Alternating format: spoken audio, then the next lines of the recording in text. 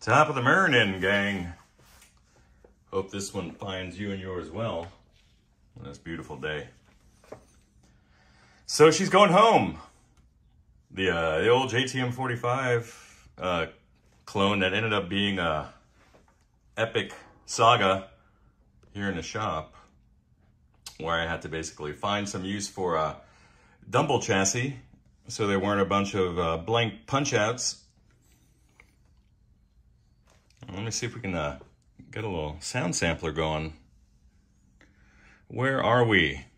All right, we are uh,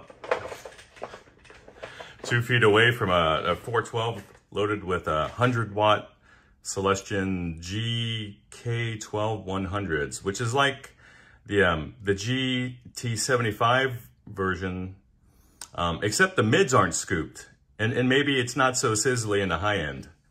So um, hopefully it's not going to clip the, the mic on this iPhone too bad, but we'll get a, an idea of what this thing can do.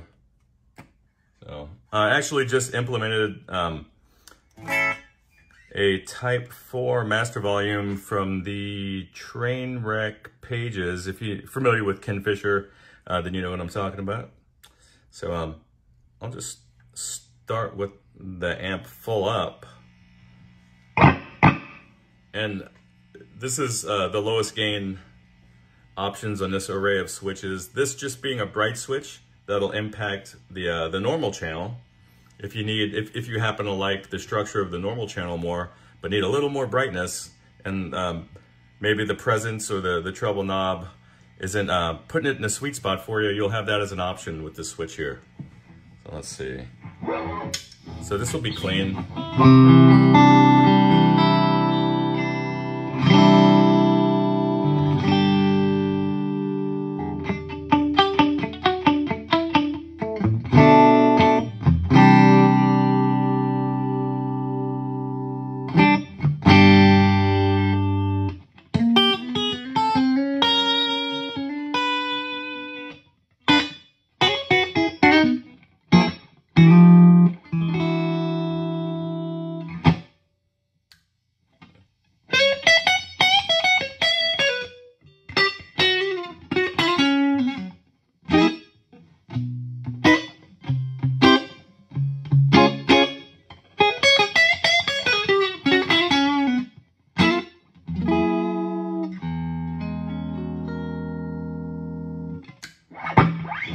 This is clean on a pretty hot uh, humbucker at the bridge. So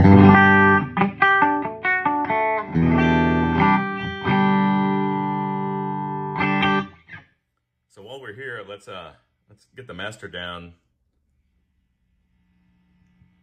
And this is a, a actually a pre-phase inverter master volume. So with the limited amount of gain uh, produced in the preamp of this particular circuit, uh, you can't expect much.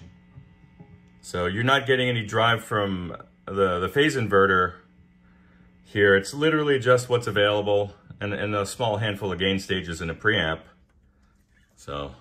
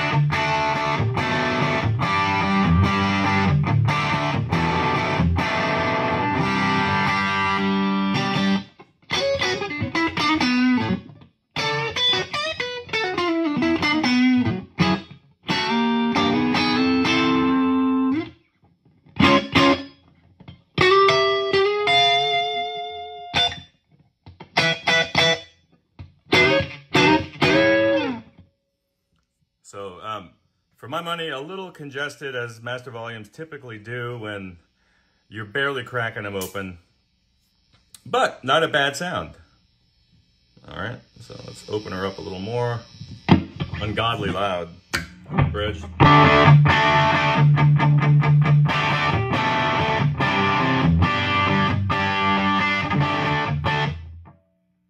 right, so let's let's um, let's kick in a, a little bit of uh, a, a, little more gain, and this is gonna add about three decibels of of gain on the uh, uh rather uh, a signal lift of about three decibels over here in the preamp end. So and it's it's it wants to run away. I'm I'm literally uh, eight inches away from this cab.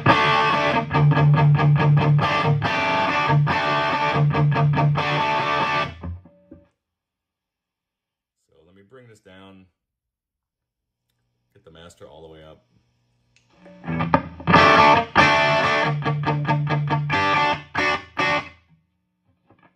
So uh, wonderful sounding clean crunch there. Then that's just literally the noise from my guitar. Roll it down. So uh, we'll kick in the, the larger gain boost, which is unbelievably loud. And, and you can see this is just off.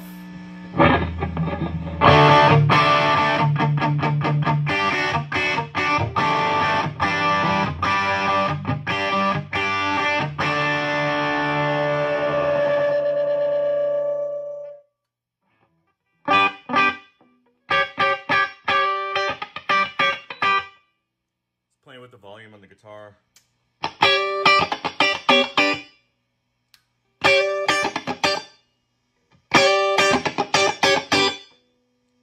Like it, very interactive.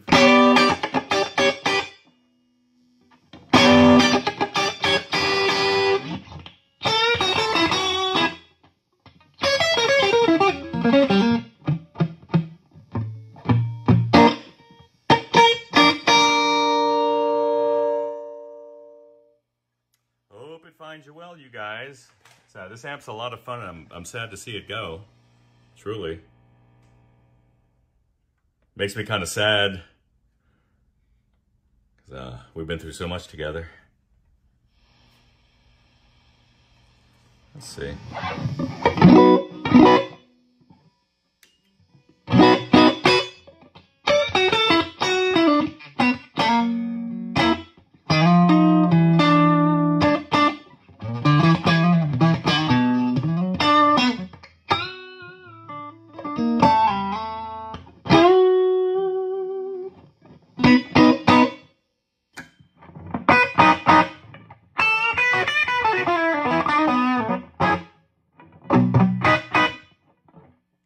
Is the most rock.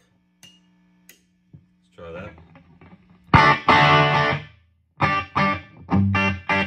Very barky, I like it. And this, uh, since it's a, a bit of a modified tone stack lift, it's going to take your um, treble, middle, and bass out of the equation. However, because the tone is still being um, managed, it's not going to leave you uh, with a boxy or flat sound. So it's still a wonderful sound. It's not missing any of the frequencies.